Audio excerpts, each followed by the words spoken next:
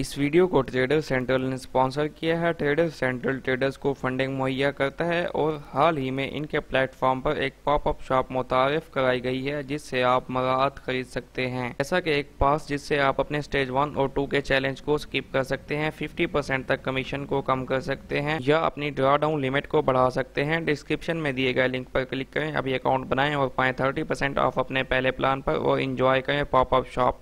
बिसमीम अल्लाम ट्रेडर्स, मैं हूँ अयूब राना और आप देख रहे हैं ट्रेड ट्रैक। उम्मीद है आप सब खैरियत से होंगे।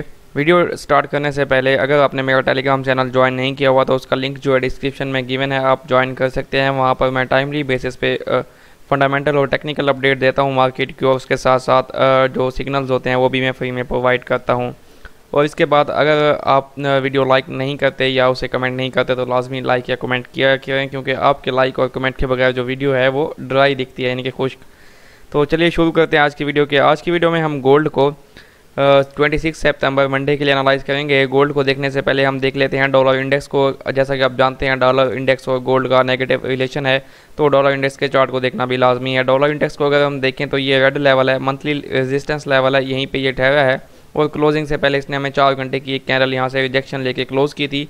तो डेली में क्योंकि ये काफ़ी ऊपर जा चुका है, आप देखें इसमें कोई रिटेसमेंट नहीं है। जैसे कि यहाँ गया था, इसने फिर रिटेसमेंट ली, फिर यहाँ गया रिटेसमेंट ली। तो अभी मंडे के दिन क्योंकि कोई खास फंडामेंटल डेटा नहीं है तो एक्सपेक्टेड यही है कि ये यहाँ से थोड़ी बहुत रिटेसमेंट ले सकता है, जिसमें ये आपको एक सौ बारह के आसपास आता हुआ दिखाई दे सकता है। और फिर अगेन ये सपोर्ट लेके अपने ट्रेंड को कंटिन्यू कर सकता है। तो इसी तरह जो इसके क्रॉस पेयर्स हैं, जैसा कि जिसमें गोल्ड है और G B P U S D euro U S D जब ये रिटेसमेंट लेगा तो वो ऊपर की तरफ़ रिटेसमेंट लेंगे। क्योंकि गोल्ड या इसके क्रॉस पेयर्स का जो ट्रेंड है वो नेगेटिव है तो फिर वो अपने रेजिस्टेंस लेवल से डाउन आ सकते हैं। तो अभी हम चलते हैं गोल्ड के चार्ट की तरफ़ और वहाँ पर हम देखते हैं कि कल मंडे के दिन हम गोल्ड को कहाँ से सेल या कहाँ से बाई कर सकते हैं और हमारे जो उसमें लेवल्स यानी कि स्टॉप लॉस या फिर हमारा जो टेक प्रॉफिट होगा वो उसमें क्या होगा? अभी ये गोल्ड का डेली का चार्ट है, जैसा कि मैंने आपको वीकली एनालिसिस में बताया था कि गोल्ड जो है 1643 की स्पोर्ट पे ठहरा है, जबकि इसके नीचे हमारे पास डेली की स्पोर्ट 1630 है। और गोल्ड की एक नेचर है, जब ये एक लंबी मूव लेता है तो उसके बाद ये रेंज करता है, फिर ब्रेकआउट करता है, फिर रेंज करता है, फिर ब्रेकआउट करता है। तो अब ये एक ब्रेकआउट कर चुका है, उसके बाद एक्सपेक्टेड है कि यहाँ पे रेंज करे और आपको 1660 से आपको सेलिंग का मौका दे, फिर ये ब्रेकआउट करके नीचे जा सकता है।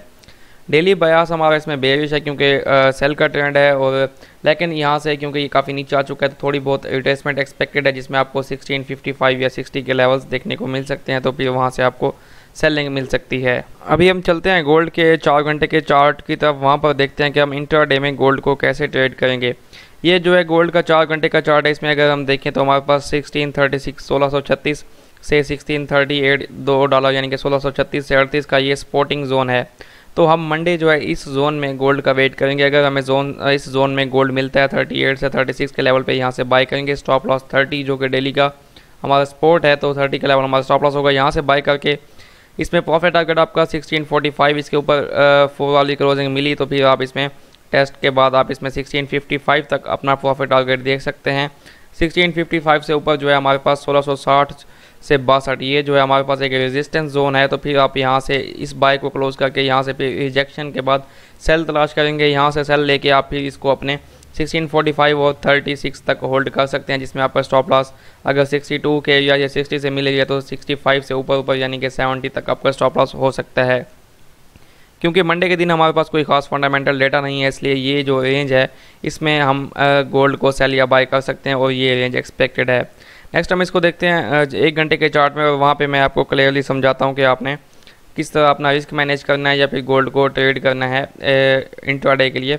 ये एक घंटे का चार्ट है, इसमें अगर हम देखें तो गोल्ड ने यहाँ पे एक स्पोर्टिंग लाइन बनाई हुई है, जिस पे यहाँ पे इसने स्पोर्ट ली, उसके बाद यहाँ पे स्पोर्ट ली। नेक्स्ट ये यहाँ पे आपको 1636 के लेवल पे मिल सकता है। अगर ये आपको 1636 से 38 के लेवल पे मिलता है तो यहाँ से इसको बाय करें 30 का स्टॉप लॉस दें। प्रॉफिट टारगेट 1648 है एक घंटे के मुताबिक, क्योंकि ये रेजिस्टेंस लेवल है। ये देखें, बहुत सारी कैंडल लें से तोड़ने की कोशिश की, लेकिन ये नहीं टूटा। तो 48 अगर ब्रेक हो जाता है वन आवरली कैंडल से तो फिर आप कंफर्म इसे 1655 तक होल्ड कर सकते हैं। अगेन 55 पे आपने एग्जिट हो जाना है 55 से 58 वन आवर में रेजिस्टेंस लेवल है फोर आवर में सिक्सटी टू सिक्सटी टू है। तो यहाँ पे जब तक 58 ना टूटे, आपने यहाँ पे सेल लेनी है। इसमें आपका स्टॉप लॉस वही सिक्सटी फाइव या सेवेंटी हो सकता है, जिसमें आपका प्रॉफिट टारगेट फिर सिक्सटीन फिफ्टी एंड देन आप इसको सिक्सटीन फोर्टी से थर्टी तक होल्ड कर सकते हैं। तो ये जो है ट्रेडिंग ट्रेडिंग रेंज एक्सपेक्टेड है। अगर 1648 नहीं टूटता, यानी कि ये जो लेवल है, ये लेवल नहीं टूटता तो फिर यहाँ से अगेन आप इस रेंज को देख सकते हैं। ये एक नैरो रेंज हो सकती है। जब तक 48 ना टूटे 48 के ऊपर फिर यहाँ से सेल तो ये हमारी मंडे की ट्रेडिंग स्ट्रेटजी है गोल्ड की, और इसके अलावा हमारे पास मंडे में कोई फंडामेंटल डेटा नहीं है गोल्ड का, और इसलिए हम इसमें यही रेंज एक्सपेक्ट कर रहे हैं।